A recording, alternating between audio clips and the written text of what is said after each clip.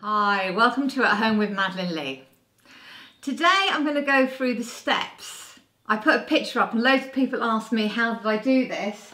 When we first came to the house in France, one of the things I fell in love with was a sweeping staircase that goes right up to the attic. So here you see the banister, beautiful iron here, and this wonderful globe here as well. This was here when we got here, but it's such an easy idea if you get something like that to put it on the end of your banister, absolutely lovely. Um, it was just plain wood on the steps and I just wanted to do something a little bit different. So what I did is got a load of carvings and as you can see I've stuck them here and then I've dry brush the wood just to give it more texture and I've done it running all the way up to the top and I thought I'd show you I left some steps so I could show you how I did it because quite a few were asking and so if you want to follow me I'm going to take you up there. So first of all you need your tin of paint. Oh actually this tin of paint has got the picture of our old apartment on it from Brighton funnily enough because we work with Lakeland Paints and you can get, this is Swedish white and you can actually get this from Lakelands. Um, this colour which is beautiful and we used it in particularly when we were living by the sea we used it to reflect all the beautiful greys and blues from the sea and now we live in the forest, we still use it. And I've got my very old brush. This is my dry brushing brush, which is really looking a bit sad, but it's good for dry brushing.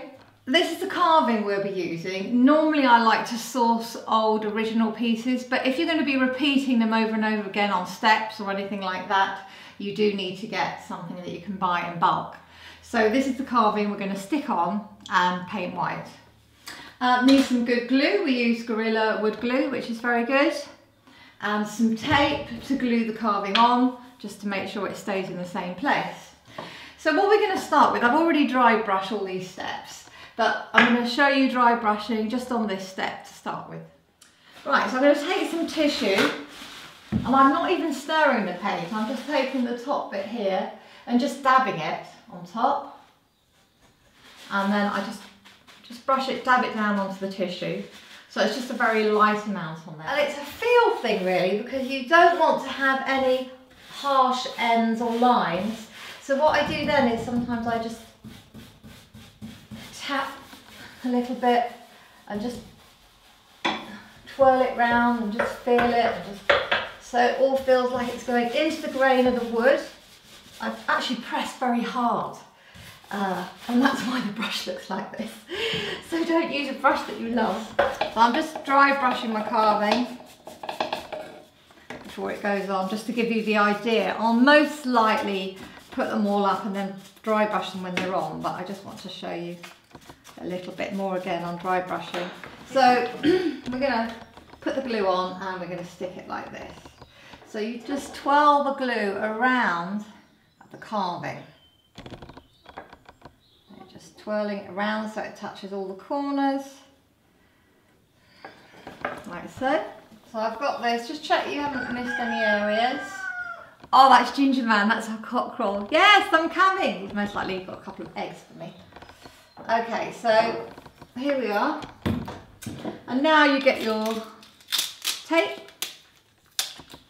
And uh, you just want to have about this length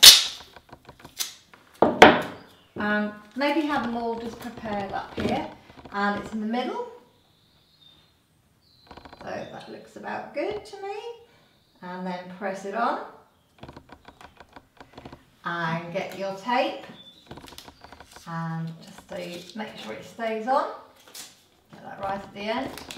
So where we are, I think leave it just for a day. Just let it really settle and do each of the steps.